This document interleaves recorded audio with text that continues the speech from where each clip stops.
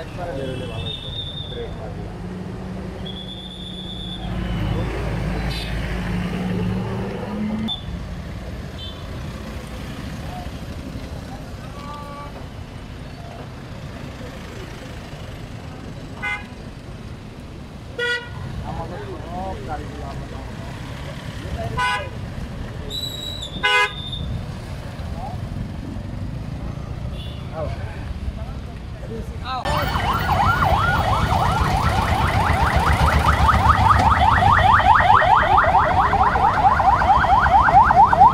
আপনারা জানেন যে একটি আহ, অস্থির একটি সময়ের মধ্যে দিয়ে আমরা পার করছিলাম।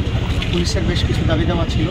সেগুলো নিয়ে আমাদের অবস্থান পুলিশ কর্মকর্তাদের দাবি ছিল তো সেই অবস্থা থেকে আমরা আমাদের যে দাবিগুলো ছিল সেইগুলো অন্তর্বর্তীকালীন সরকার আছেন তারা আশ্বাস দিয়েছেন। এই এই সব কিছুই আমাদের আজকের যে প্রোগ্রাম এই প্রত্যেকটা জিনিসের মধ্যেই আমরা ইনভলভ হব। আর পুলিশের যত কাজ প্রত্যেকটা কাজই আজকে থেকে আমরা হান্ড্রেড পার্সেন্ট আমরা চালু করব।